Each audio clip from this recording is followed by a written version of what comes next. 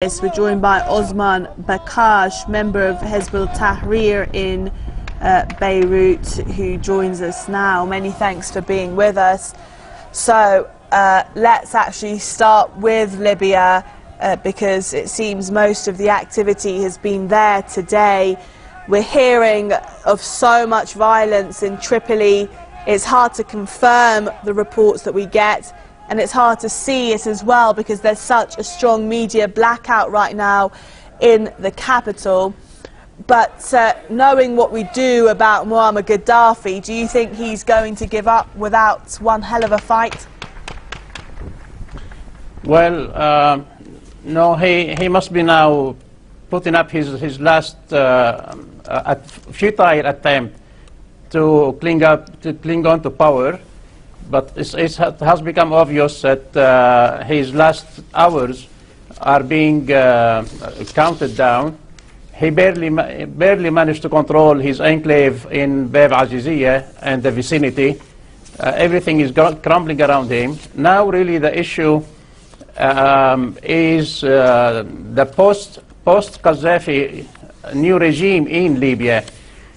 As we saw today in Egypt and in Tunisia, we saw clearly that the revolution there is not yet completed.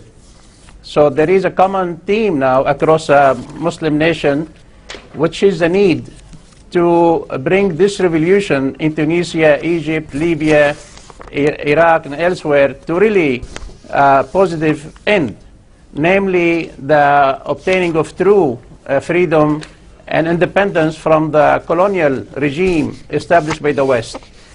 Well, how much does the West have to do with this? I mean, to what extent are these anti-imperialist movements?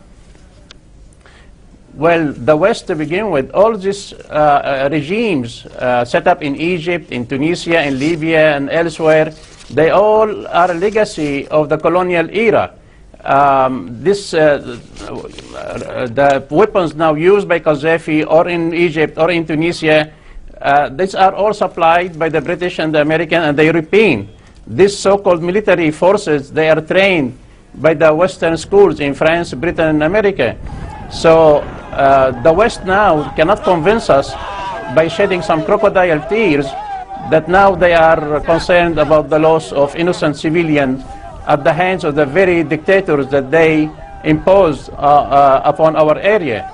So uh, we know that in the case of Egypt, say, the Americans have been pumping $1.5 billion a year for the great services that the regime of Mubarak has been offering to the American policy and interests in the Middle East. And similarly with Qaddafi and similarly in Tunisia uh, in the rest of the region. So now we here in Hizb tahrir we really call for this historic moment, for, the, for this revolution to succeed in severing all colonial legacy with these regimes and to make sure that there is no cosmetic change. We saw today the demonstration in Egypt calling for to bring down the government of Ahmed Shafiq, who was assigned by the ex-dictator Mubarak. Similarly, in Tunisia, Ben Ali, when he fled away, he turned over power to his friend, longtime friend, Ghannouchi, and now the question in Libya is the post-Qaddafi era where it's time for us to uh, assume our own uh, freedom and uh, independence without any uh, string attached to Western powers, France, Britain, Italy, or America.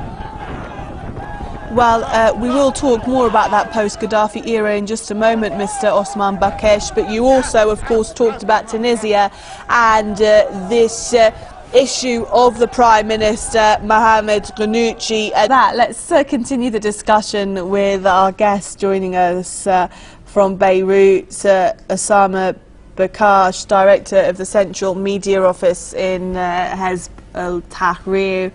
Um, let's talk about post-Gaddafi, if that day will come. I mean, I, I assume that's the initial question. Is Gaddafi going to go? Yeah, this is by now, this is by now a foregone conclusion. Qaddafi days are numbered and uh, his time is up.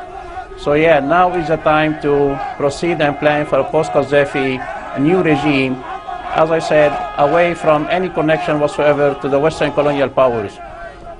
We, this is why we have to issue a direct appeal to the military forces, security forces in Libya to secure all state facilities and uh, documents uh, to, to keep the damage to a minimum. We need to uh, restart rebuilding our nation uh, immediately once Gaddafi is brought down, which is not far away from now. Well, you know, this week uh, Fidel Castro has been weighing in on uh, the situation in the region.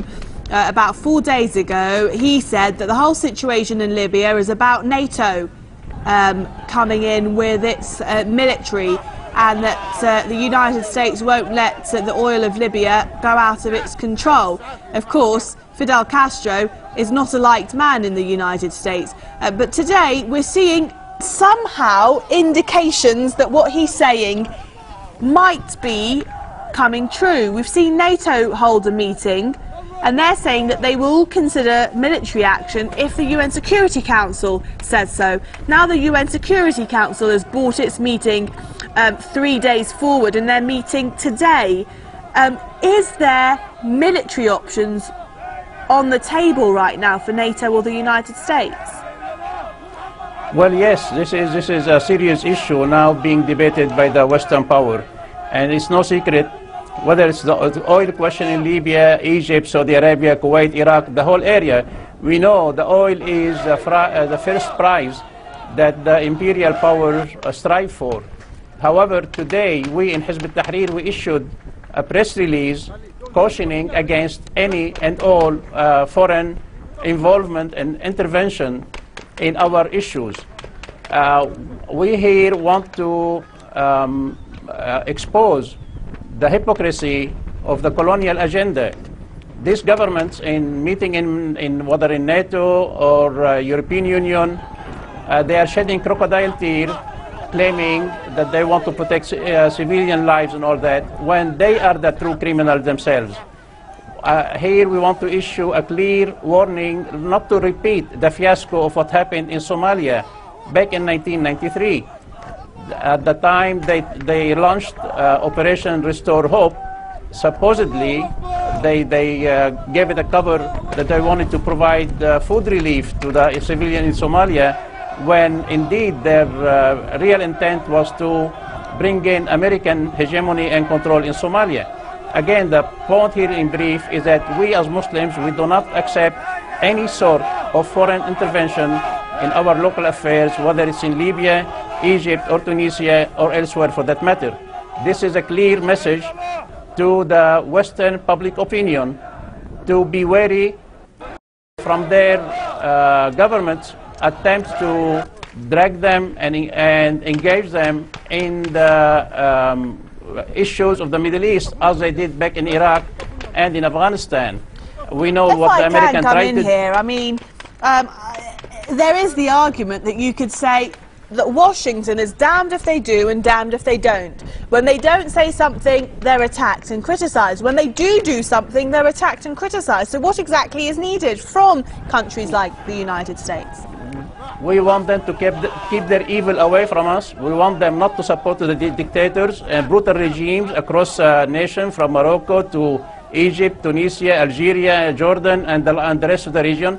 We want them to mind their business. Uh, we do not accept for them to intervene our affairs in any way, form, or shape.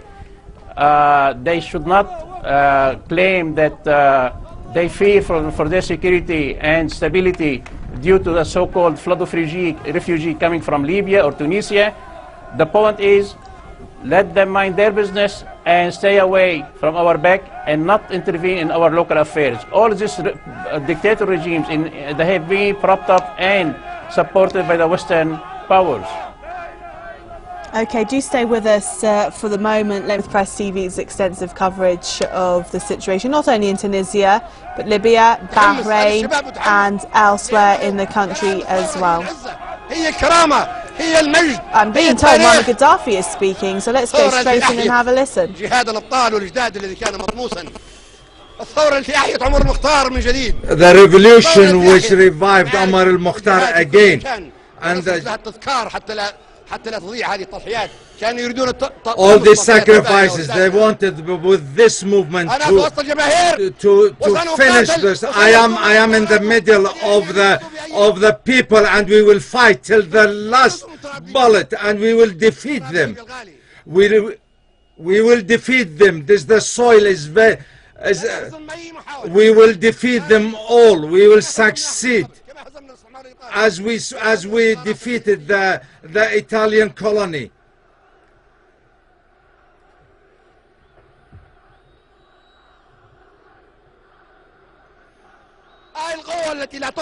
This is the this is the, the strength which will not be defeated the youth is strength. The life without dignity well, it's not worth at all. Uh, this, these flags, these green flags, without those fl uh, green flags, there is no use of life. The, this, the, the, the flag, the green flag, which is which has been here for years and years. You are youth, Libyan youth, take your time in any, any place, in the streets, in the squares, whatever, uh, whatever you want to do.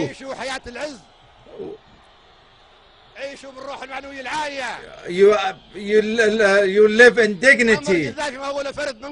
Muammar Gaddafi is one of you. He is not different from you. What do you want to do? You do now. You can dance, you can sing, whatever you want.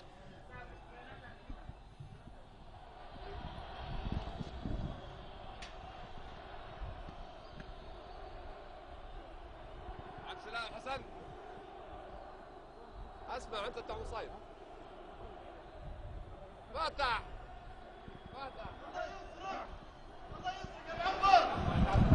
فاتح فاتح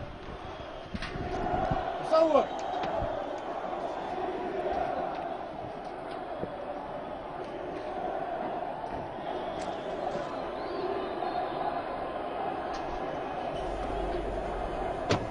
So,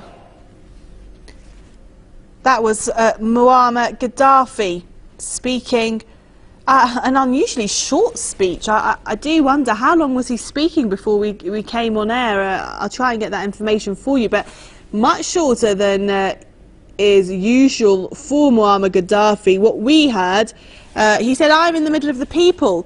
Uh, it seems Muammar Gaddafi there at the top of a building um, with, as you can see, if we can get that live image up again, um, a crowd of people um, that uh, have gathered holding Muammar Gaddafi posters, obviously pro uh, Muammar Gaddafi um, uh, protesters there. I, I'm sure that uh, others would have a different take on why those protesters or how those protesters um, are on uh, uh, the ground. He said, I'm in the middle of the people.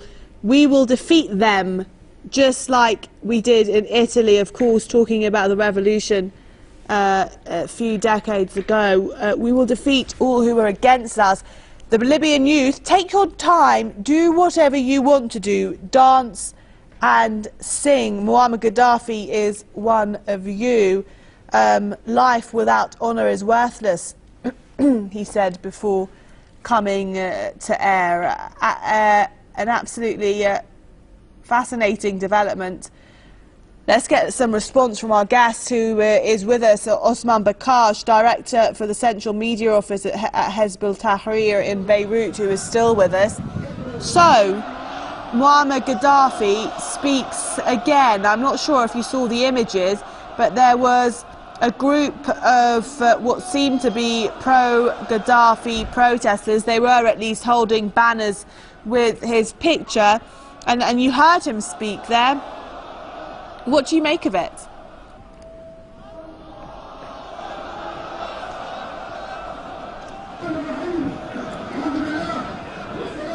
Do we still have Osman Bakhach with us?